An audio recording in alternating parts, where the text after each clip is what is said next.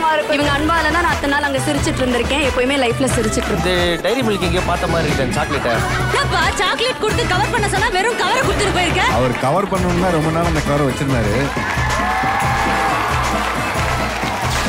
big pass கொண்டாட்டம் ஞாயிறு மதியம் ஒன்று முப்பதுக்கு உங்கள் விஜய் மற்றும் டிஸ்னி பிளஸ் ஹாட் ஸ்டாரில்